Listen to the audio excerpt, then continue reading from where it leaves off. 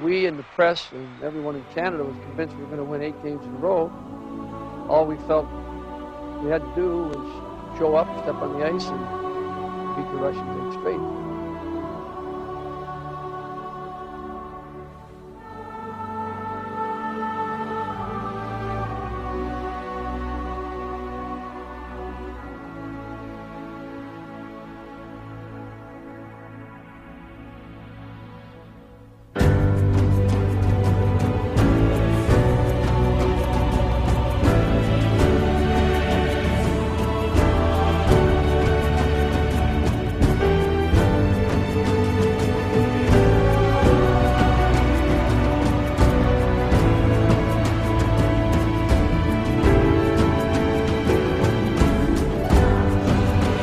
Puck is in down to Paul Henderson. He shoots. He scores.